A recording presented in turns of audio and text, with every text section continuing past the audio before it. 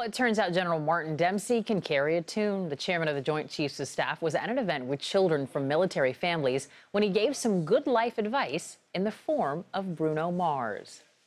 Do you think that failure plays a part in that success?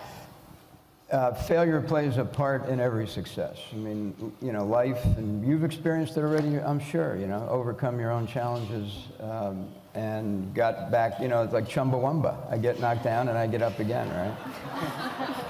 but um, I'm, trying, I'm trying to connect to the kids here. Yeah. that might have been their fathers. Well, look, at their age, you don't want me to break out into Uptown Funk You Up, do you? don't believe me, just watch. I bet those kids had no idea who Chumbawamba was. At the event, Dempsey answered a range of questions about his military career and offered advice to students interested in joining the service.